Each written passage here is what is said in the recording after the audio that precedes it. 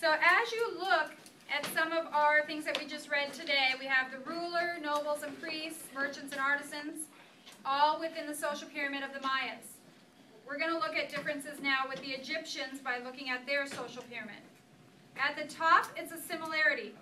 The ruler is at the top of both uh, social pyramids. So I'm going to write, they both have a ruler at the top of the social pyramid.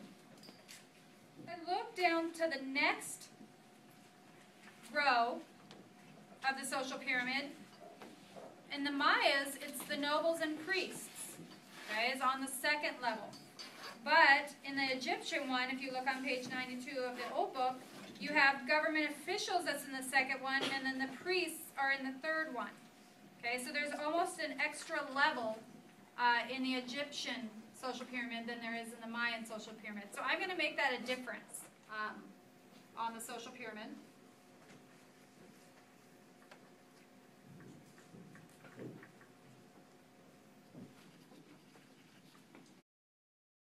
In the Mayas, the scribes are not on the social pyramid.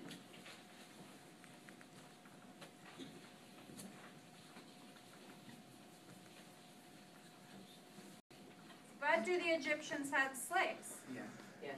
Yeah, so we're going to do that as a difference, but we're going to make sure we add that. In Egyptian time, the slaves were so low that they weren't even counted on the social pyramid.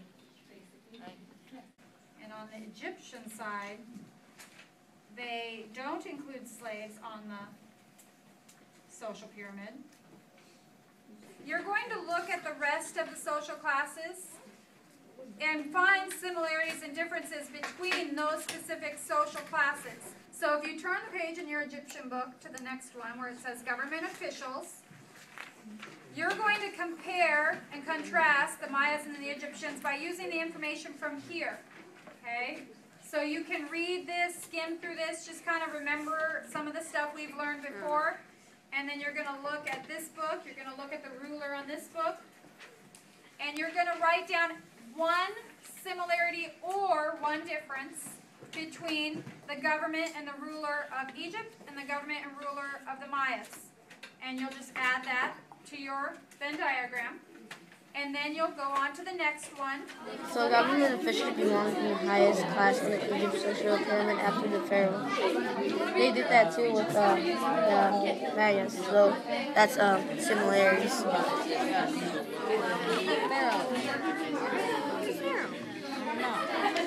Found it. This